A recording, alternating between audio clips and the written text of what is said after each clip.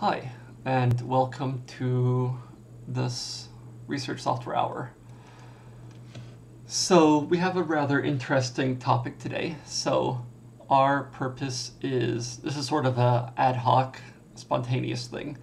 We decided before that we would talk about things that we're basically doing, like things, so meetings or discussions you would have ourselves normally, we'll broadcast and see if it's useful to other people. Because why not?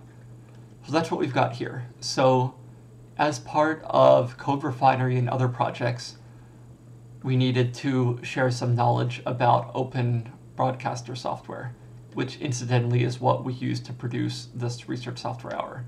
So instead of having a private demo, this is a public demo. So there's probably not many people watching, but you can if you want and we'll have a recording for people to watch later. So with that, let's begin. Um,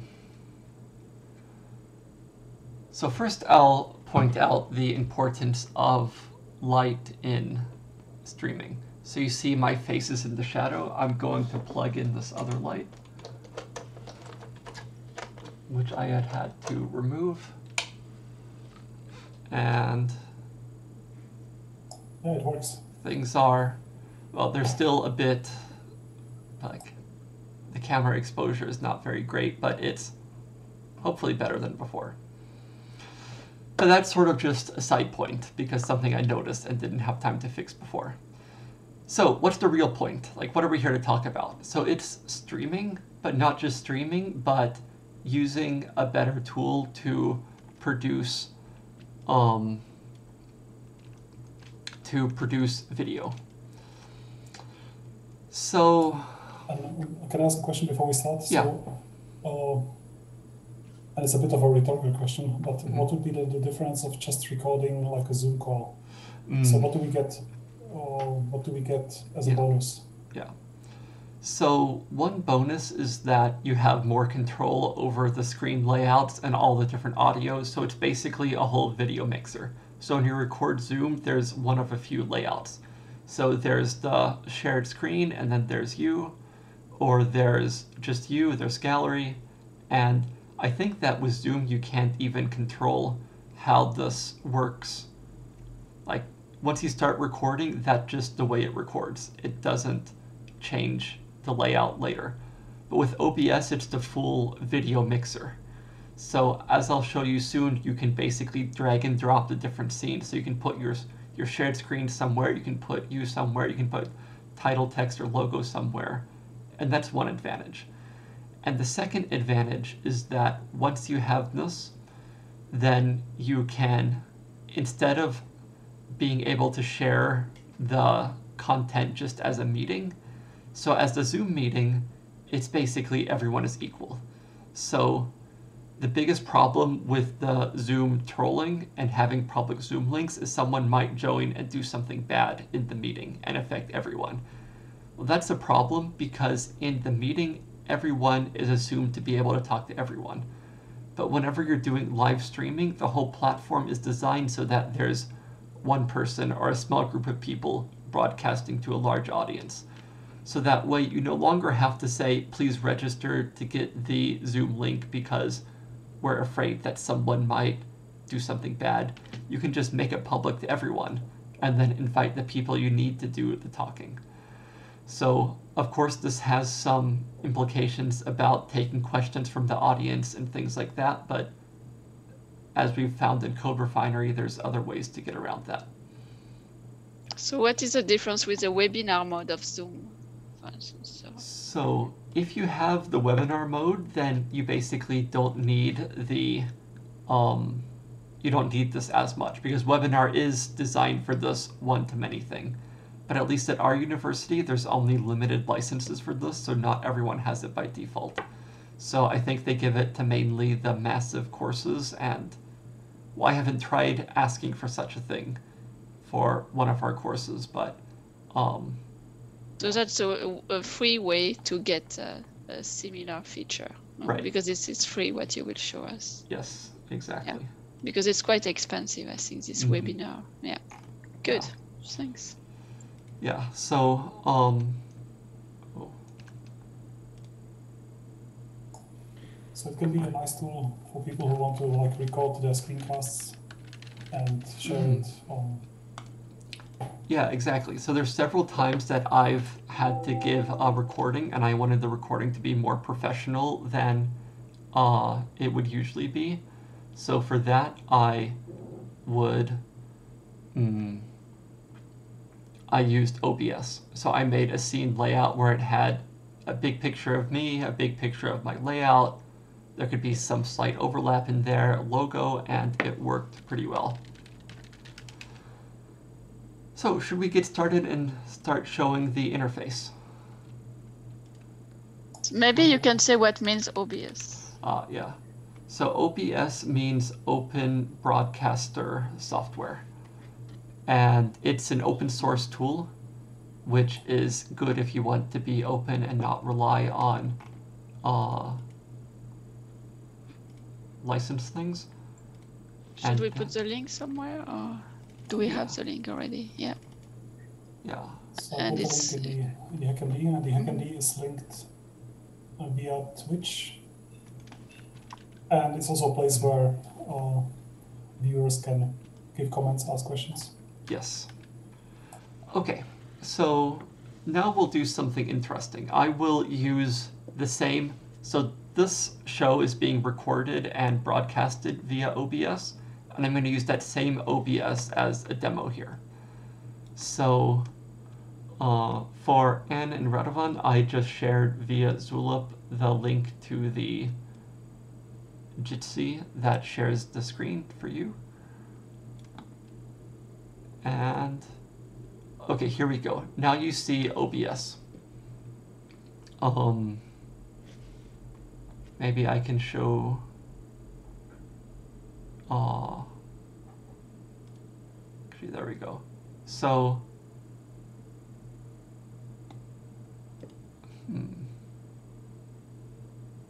Yeah, actually. So, Anne and Radovan, have you opened the Jitsi to see it?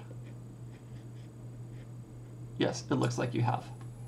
Yes. Okay. So, yeah, so now I'll go to the local view, and this is OBS we see right here. So, since it's broadcasting itself, you see it sort of goes on down there forever. Um, but that is, I guess, just what we'll have to deal with. So, wait. Mm. There we go. Now you actually see the whole thing better. So what do we see? On the at the top we see the preview. So this is what's being broadcasted. So what you see is inside of here. And then we see different sources down here. So for example, I can switch to the title card and now the stream goes to the title card itself. And you don't see OBS anymore. If instead I go and I click on gallery, then it goes to the gallery view. And so on and so on. Within each scene, there's different sources. So for example, this source is the gallery view itself. Actually, we need to leave that on. Here's the desktop overlay. It, So- it looks a bit odd what we see on the Twitch now. Yeah. Because we see. You see it and you see itself. Yeah, I see Um, many, many views. Yeah. I mean, this is this is sort of one of the problems I've had with getting used to OBS because there's so many ways to make either loops of audio or video. Um, but do you see the red box or now blue box here? yes, we see them. That is the preview of the stream. So if you only look at things that are outside of that box, you see my main user interface. I mean, I wonder if this strategy is even working. Is there a way I can give a better preview? Hmm. I think it's, let's see. Yeah. It'll take some time to get used to it, I guess, but well, it is what we've got, so we just have to accept it. Okay, so for example here, this is the zoom gallery capture. So I can independently turn this on or off to make the overlay. I can click on the zoom gallery capture and there I go. And I can move it around or drag it off of the screen and so on. So it's an entire graphical method to adjust what you see here. So here's the desktop overlay. If I turn this off, then OBS is no longer broadcasting my desktop, so you don't see anything. And you see, well, the screen goes blank, but you still see the gallery there. And I turn it on or off. So you prepare these scenes before streaming and recording, Yes. and then you, you do you keep these also uh, like for the next session? Yeah, so there's profiles and scene collections here. So here you see in my scene collection, I have 1080p presentations is when I want a full screen to do presentations. Uh, demo recording, meeting screen sharing, research software hour with Jitsi, research software hour with Zoom, and all that. So it took me a little while to arrange these layouts and basically once I made the one for Research Software Hour, I copied it over and over for all of the other um, things I needed. But it's the kind of thing that can be exported and re-imported, so you don't need to make them from scratch, really. Okay. Mm-hmm. And maybe maybe we'll get there, but apart from the maybe we'll get there. Like the question was that so we need to select the scenes, but then do we also need to customize some other things, or can we can like what other Yeah. things do we need to customize to be able to record and stream? Right. So maybe we can go into the settings and take a look. Do you think that's a good idea? Unless you plan to go there later, so I didn't Uh, shortcut anything. But I think now's a good time. Let's go there. So here we see OBS settings. So a pretty typical settings dialog. Under general, we see a lot of stuff. Uh, well, these are all basically user interface kind of things. do you remember the things that you changed? So I I can tell you the ones I know I changed. These I think don't really matter. It's basically UI stuff. So under stream, you see the streaming service. So we see it set to Twitch, server Helsinki server, and stream key is hidden because it shouldn't be shown. So output is where it starts getting interesting. Actually, no, let's start with audio. So here in audio, I've set the different audio devices. So I say, when I capture desktop audio, it's coming from my headphones. And you can have another desktop audio card. And then there are three different microphones in here that I could be capturing from. But right now I'm only using the webcam microphone here. So basically I would set these audio devices. So where do they appear? Okay, I will move this away. Let's come back to here. So here we see the different audio devices. Uh, OK. So we see the desktop audio and audio from camera, headphones, and my microphone. So for example, I will mute myself.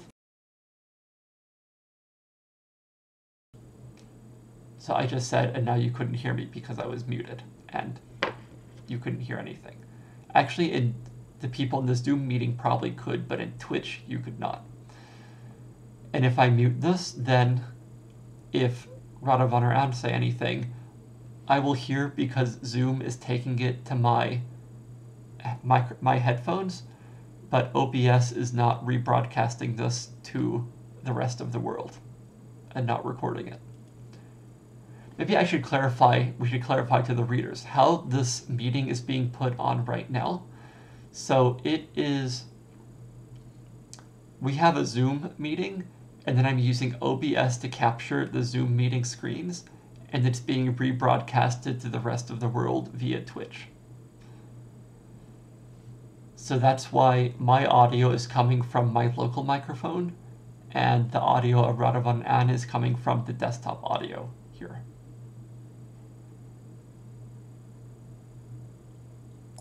Okay, so it's different because because Zoom sends it to the desktop audio, so that's where the Zoom, Zoom audio ends up. Hmm So your own audio, so your Richard's audio doesn't go through.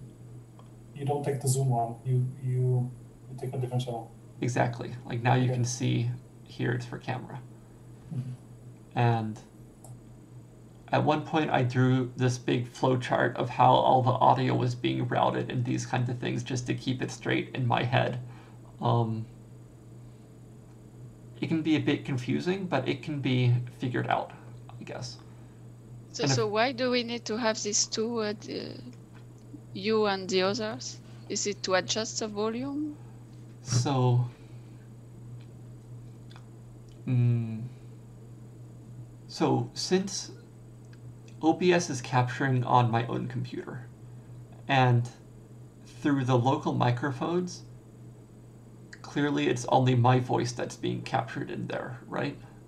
Yeah. Because you're not talking there.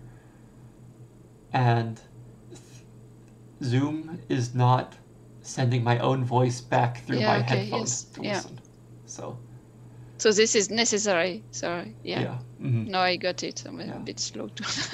No, I mean, it, it, you wouldn't be surprised at how long it took me to sort of wrap my heads around this and to avoid things like opening up OBS and then suddenly I'm getting feedback in my ears because Yeah. there's some loop there. But it's one of yeah, these this is what happens to to me very often. So this is why I'm asking more questions because it's uh, yeah, Yeah, it's a bit confusing. yeah.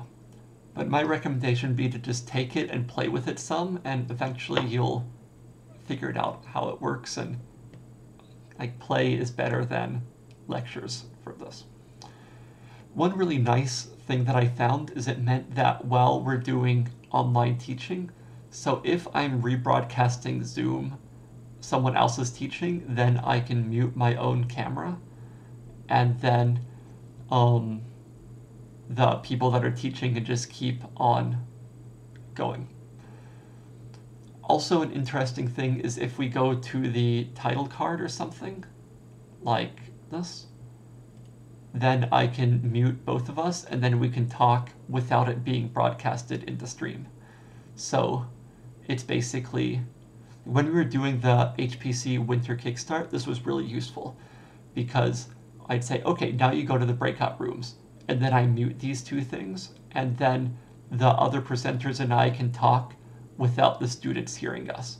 So basically, we didn't have this, we needed an out of band communication channel problem. That's a very good uh, good suggestion to do actually. Yeah. Yeah. Okay, so let's go back to the settings. So we were at audio. And there's some other things here like meters or advanced. I didn't really adjust any of these. Oh, there's monitoring device. So you can tell OBS to send your own microphone capture back to your own headphones if you want to see what is being um, like what you are what you are saying which might be useful in some sort of professional audio production things where you need to t- test your audio quality and make sure it's reasonable So you Um, hear what you at the same. It must be a bit confusing. yeah Is there a delay between? so there's a little bit of a delay enough where it's a bit disconcerting Yeah. like i've i get this idea that like professional performers or bands or things like that audio feedback is an important thing like they need to take the audio from the other people on stage and send it back to themselves either through an ear monitor or speakers pointed directly at themselves in order to stay in sync somehow. But I don't think that's too important right here. Okay, let's see. Let's go back to the settings. Okay, we were in audio. What else?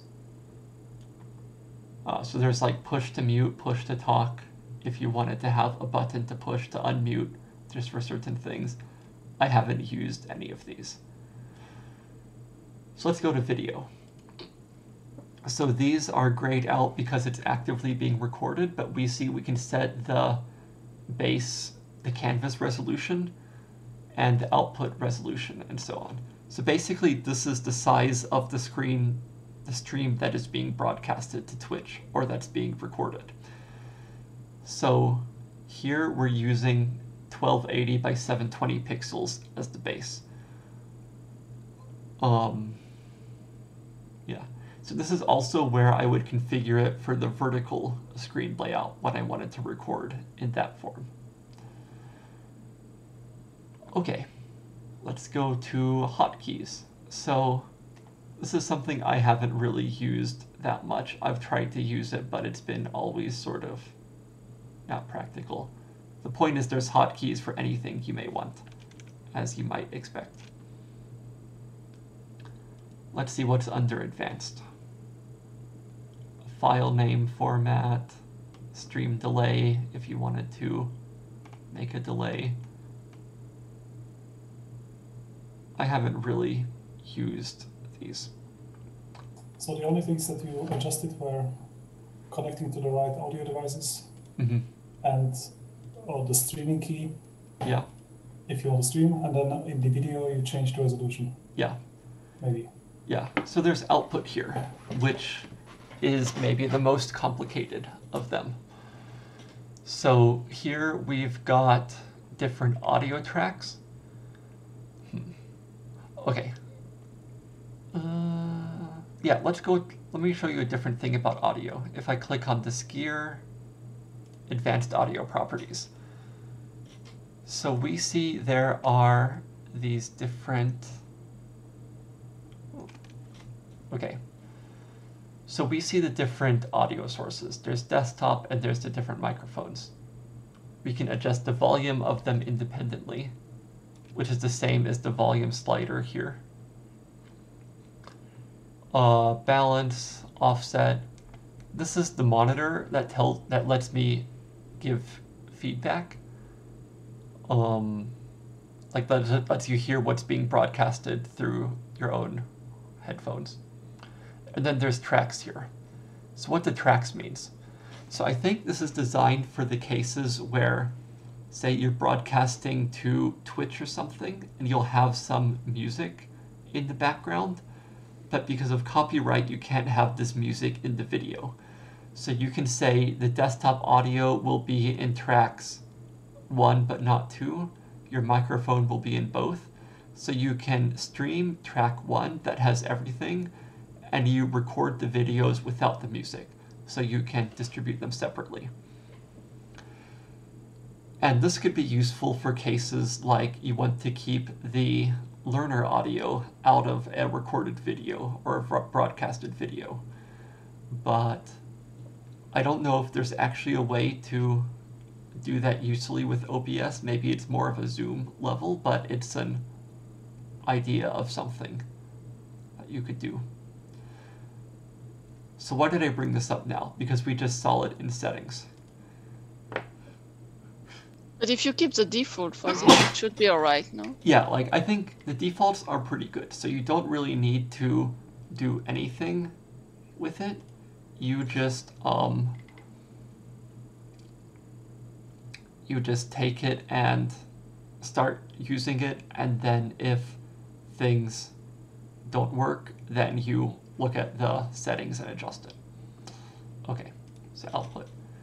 So here we see for stream you can adjust the audio track. Um, you can adjust, oh, interesting, this is a Twitch setting. And then there's encoders, rescaling, all these kinds of things. So maybe a choice you have to make is what kind of bit rate you'll use for the recording and streaming. So this is basically how much data you have per second.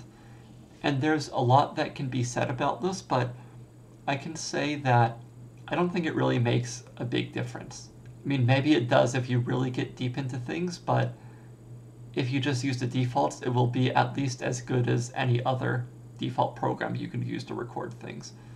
And maybe you can make things better later. Um, Twitch recommends constant bitrate, for recording. And I won't go into details about why that's the case, but you can read it in the Code Refinery Companion Manual, which someone can put into the HackMD. Um, or maybe I can. Let me find it quickly. Uh,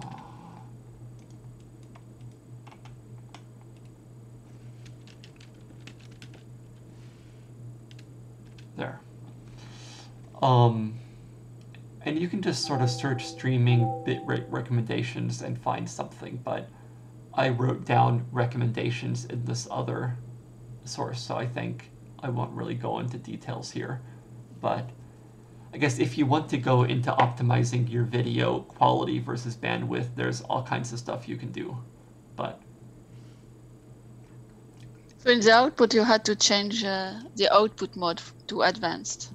I mean, I, I'm, I'm checking mm. what I have in my default, so yeah, one has to change it to okay. get this menu. Yeah. I mean, maybe it would be wise to leave it with the basics and assume it's good enough because I don't think it really matters Mm. that much. But this rate control, I don't think we have it by default to this uh, CBR. Okay. Well, if anything, that's good for you to not have to deal with that. Okay. Recording. Um. Well, recording path, recording format, audio tracks, encoder, basically all of the same questions again about the recording you want to do. And then audio, you can set the audio encoding parameters and replay buffer I don't have enabled. And I think that's basically it for the settings. So. Any questions there? Or we'll go talk about how the output actually comes out and where it goes to.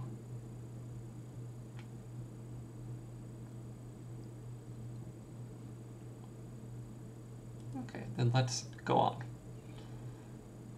So here we see the controls on the right side. Uh, we see there's a streaming control and a recording control. You push the button to start it and you push it again to stop. And, well, works pretty well. I mean, there's not much else to say. Um, settings. So virtual camera is an interesting concept. So with virtual camera, what it means is that instead of recording or streaming, it makes a virtual camera device, which to other programs looks the same as a webcam or something you'd have connected. And then the other program can capture this as a webcam. So for example, in my Zoom, I could start OBS, put OBS into virtual camera mode, and then apply different effects to my output to um, yeah, apply different effects to my output, which looks like it's being applied, it's coming into Zoom via a webcam. So I know some people do fancy things with this. I don't really regularly use it, but it has all kinds of possibilities for teaching. Like for example, you could also tell Zoom to share the webcam as a shared screen or something like that. And then you could have OBS to mix your course.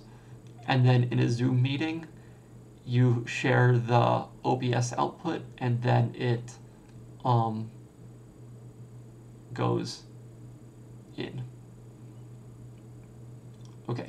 Can it be also used to skip some Zoom meetings and appear very active uh, by feeding in like a video loop? Actually, yeah, it could exactly do that. So, Hmm. Okay, well there you go. okay. There's other outputs here. So if I right click here, we see there's, okay, previews open. There's these projectors. So if I do a full screen projector, it basically means that it will go and occupy one of my screens with what OBS is presenting. So let's say that I was in the control center of a major event or something like that. Then I could have an HDMI output that goes to the projector that's projecting to the audience, and then do full screen projector on this, which will then send the output via HDMI to whatever thing you have. And then I have all these controls so I can use transitions and stuff like that. I'll give an example here. I'll do full screen on this monitor, which is the one that I'm mainly using now. And the zoom window should become something different. Okay, so here we see everything goes away because, well, I guess it's some sort of loopback thing.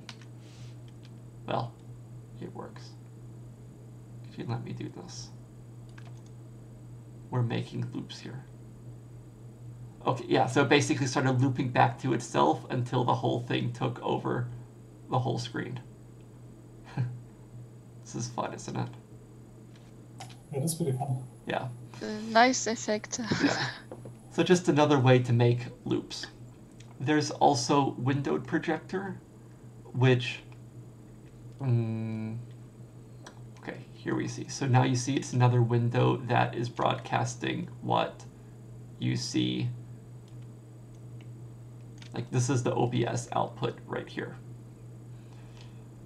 And this is what I've shared via Jitsi to you so you can see my screen live and not have to deal with the Twitch latency. Okay. Oh, nice. Now I see. Yeah. Um, well, you can screenshot. Okay. And that's the basics behind these things. So, what time is it? So there's a question. Yeah. Uh, HackMD, and the question is, can we discuss file formats?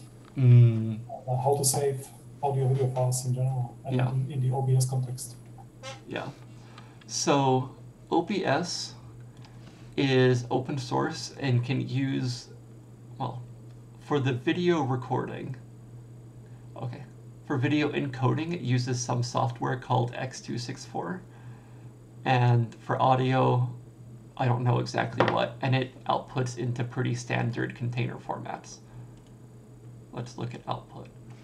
Okay, that doesn't work.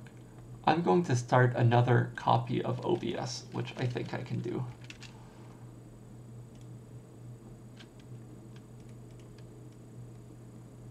Hmm. But Did you update the default the default for the format? So,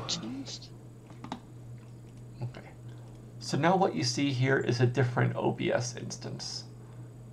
Um, but it's also set to research software hour mode. So output, so recording. So there's different formats. Originally I used MP4, but you see this warning, if it's saved in MP4, if your computer crashes, then the file can't be recovered, which I didn't like. So I wanted, but I also wanted a format that I could directly upload to YouTube. So there was MOV, which I switched to, except then I realized that it had the same problem, and I sort of never did anything else. This Matroska format is a good recording format, but at least some sites say that it can't be uploaded to YouTube directly. I think this is sort of the ideal standard open source container format that can do anything. One thing that took some time to learn is that there's a difference between the container format, which is sort of the file format on disk, and the encoding format that is inside of the container. So for example, you can encode to um, MPEG-4, which is, or maybe it's MPEG-2 or something, which is a format for the video, or you can encode in, maybe it's called DivX or something. You can use, but both of these can go into different formats. So whenever I've switched these recording formats, the actual content of the video, the video encoding is the same. It's, but it's in a different file format on disk. And then to make it even more confusing, there's different encoders that can encode to the same encoding, which can go into the different container formats. Um, in the manual page I wrote, I gave some recommendations, but I guess I would recommend MP4. Encoder X264 is basically the open source standard. And then, well, whatever the other default options are. Actually, let's see what happens if we go to simple. So there's streaming and there's recording. And there's And can you please repeat that? What What is your recommendation? Because I would like to really write it down here. Mm. So your recommendation was MP4 with. Um, let me see what I wrote under the research software hour. Or not research software hour, but CodeRefinery manual. Hmm. Let's see. Conf Oops. What happened?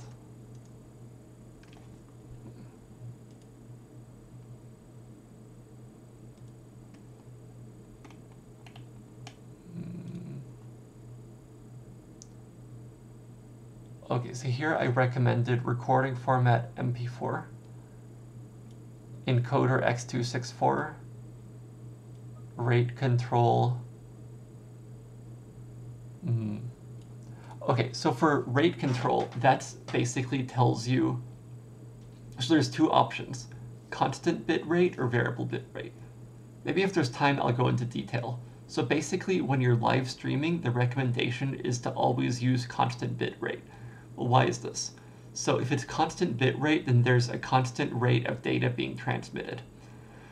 But if it was variable bit rate, there might be a case where there's a relatively static scene, and then the bit rate goes down, like it should.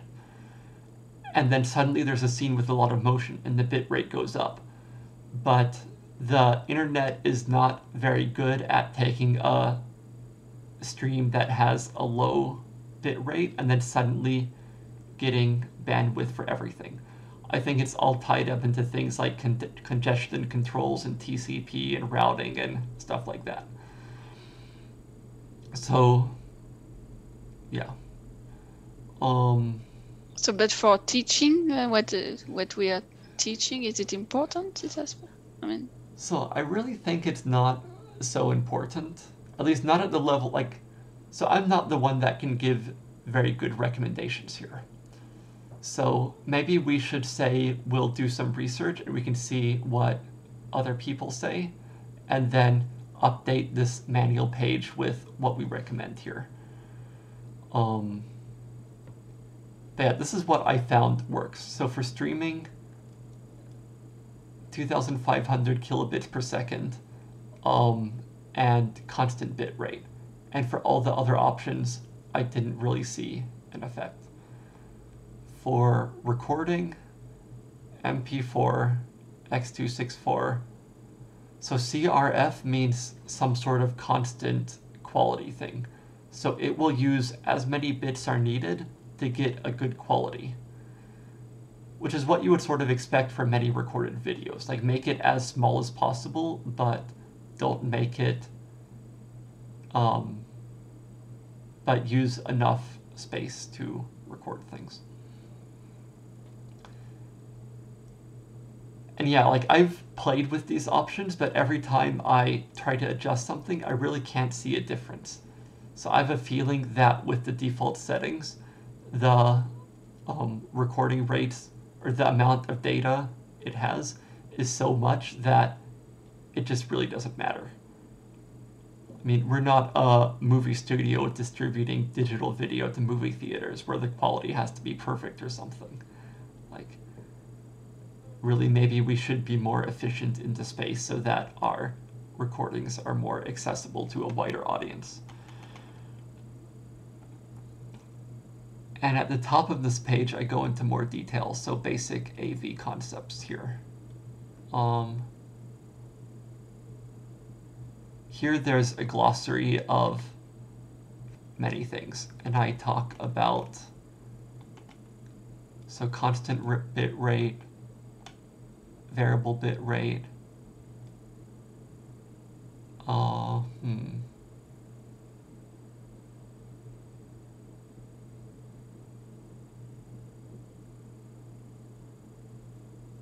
Okay, I didn't go into more here.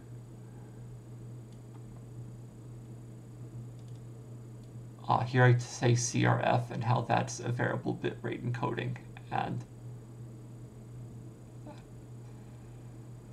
So yeah, so basically, unless we really want to optimize for size and quality, I think that spending time discussing the defaults like, I've tried but haven't been able to. So your um, advice is uh, not not to change the default, except if you're professional. yeah, like my advice is just don't worry about it. Like like play around with it if you want and see what you find, but if you just want to record things, don't worry too much. And let's let someone else give us better advice if it becomes important. Yeah. Mm. So what do you think about this kind of tool? Oh, maybe I can show the different scene options. So here we go, there's the title card. I can add different types of sources. Uh, why is this scrolling off the screen? So I can add, for example, a color and image, media, which I guess could play a video in a scene. You can insert scenes into other scenes. You can capture screen. You can insert text. You can capture only video. Yeah, so basically, almost any kind of input you might want, you can do here. let me find another thing. How about this teaching streaming scene collection?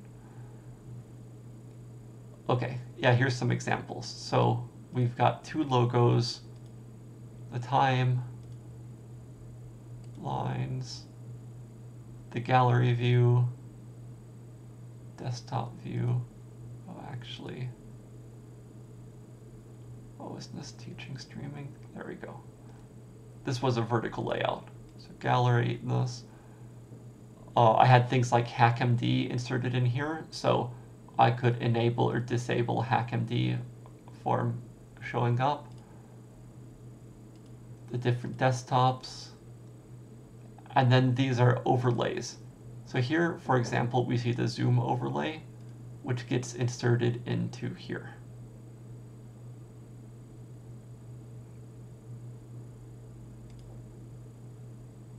Okay, there's old text. And well, I adjust it around however I want. Uh, so what is nice is you can share now this uh, what you have created. Yeah, yeah. So I can then export the scene and then send it to others to use. And this is, uh, we can import. Uh, yeah. Mm-hmm. Is this import? Yeah. Menu. Yeah. And I've never done this before, but, well, in theory. I think that's something worth to try because you have done, I mean, you have spent a lot of time to. Yeah. To define very nice mm-hmm. things could be nice to reuse. Yes.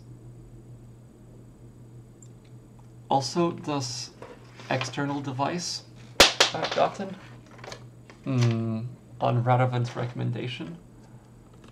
It's a MIDI controller, and I've hooked it up to OBS to do various things to it. Oh, cool. So I can push buttons to switch scenes, and um, So you are very professional, actually. I mean, it's like it feels like a really good thing I'm doing here. Like, you know, I'm really looking forward to doing these big broadcasts and all kinds of things. Just buttons to mute and unmute things.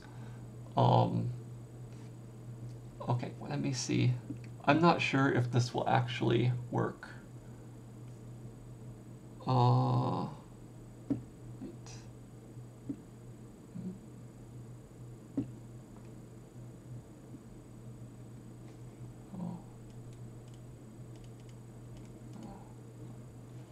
Okay. Um.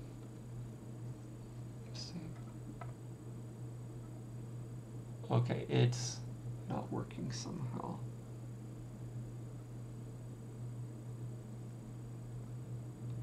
Mm. So I made a control knob that would do things like adjust the size of the um, picture gallery here, or adjust this. We start at 58, so I can I'm turn. sure we are supposed to hear that or not. yeah, I'm not sure because now we don't hear it. Oh. But maybe Uh, this is expected.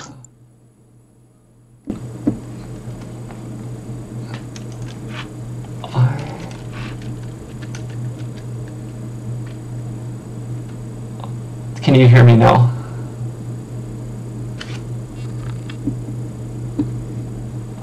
Test one, two.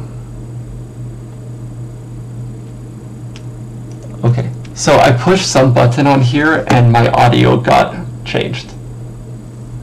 Um, but I'm. So you don't hear me? Oh. I know, I muted my Zoom.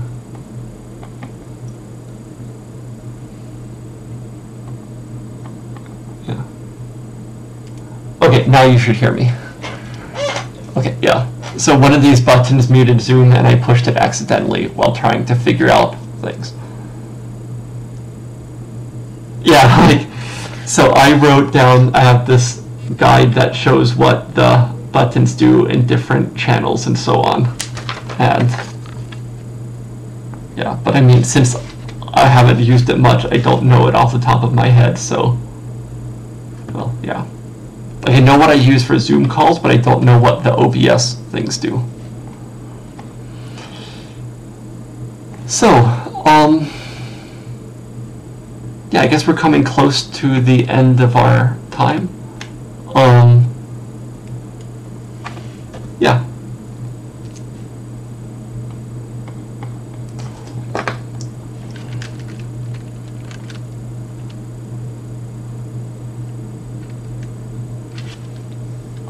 Mm-hmm.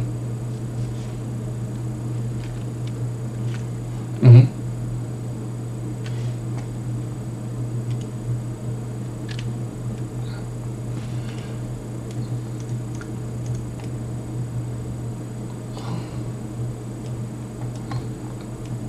So I did it using.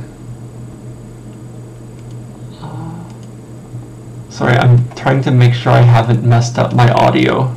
On Twitch, is the audio working? Okay, do you hear Radovan's audio, what he just said? Okay, then I'm just going to ignore it and. Okay, so for that, let's see. So I used OBS in my. I think it was maybe my de- oops. Okay. That crashed. So I used it in possibly my demo recording profile where I had hmm, was it here?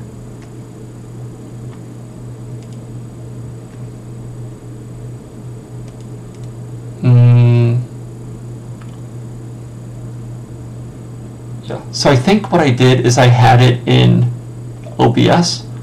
I made the scene like this, and then I had my local view, which is like this. And then I used the windowed projector to make a window with the OBS output, and then I shared that via Zoom. So the window projector would mix myself, like recording my own myself, and the screen share. And yeah. Hmm. Okay. Yeah. Mm. Yeah. So I see that here, like this desktop audio is going to red when someone talks, but so here I this is my computer's audio control. It's a command line program that does it. Um,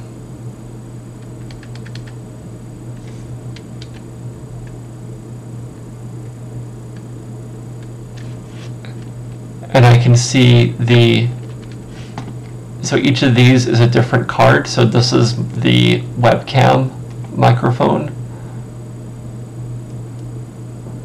Hmm. Cards. But I'm really not sure what is wrong here.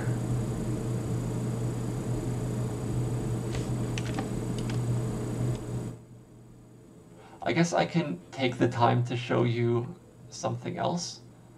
I can show you things like filters. So these are audio filters. So there's, I can control the gain of something to basically, or you can add filters like, oh, you can't see that. You can add filters like noise suppression and so on which when added, I didn't add. Uh,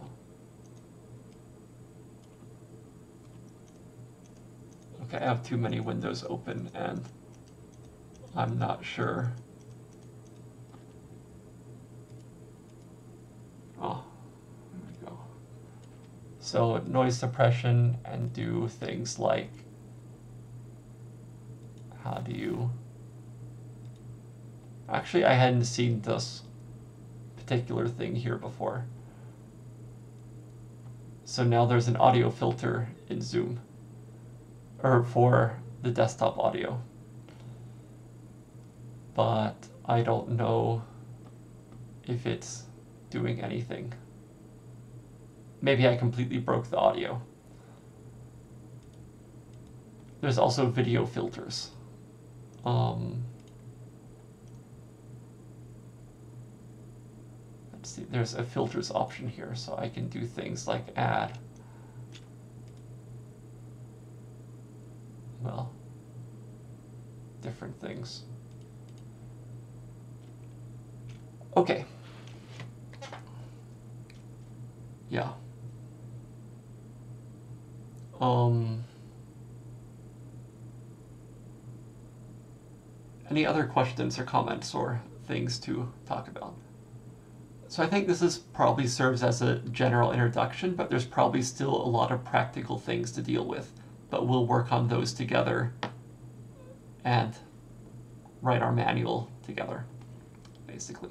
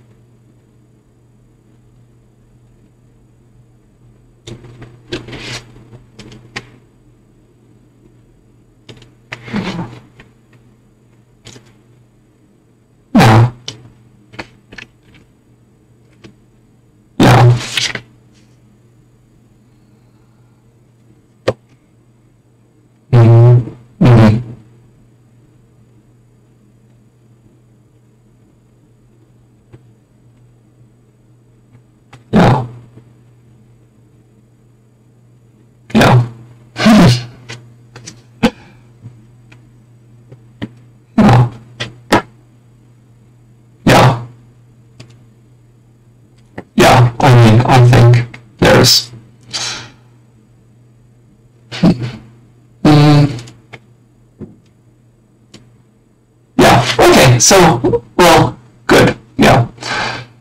So, I have a few people watching the recording or stream aren't able to hear what Alan or Radovan are saying and something's going wrong, but I haven't been able to figure out what it is I did. So, um, but basically, Alan just said that it wasn't too difficult to, I didn't seem as complicated as one might have thought. So, let's continue via our other channels. If you want to join us, we are here in CodeRefinery and here in um, Research Software Hour channels, and you know how to find us. And maybe we can like develop this a little bit and then make a better presentation sometime. Actually has an outline and you know what's important and talk about that and so on. Yeah. Okay. Great. Okay. Bye. Thanks to everyone.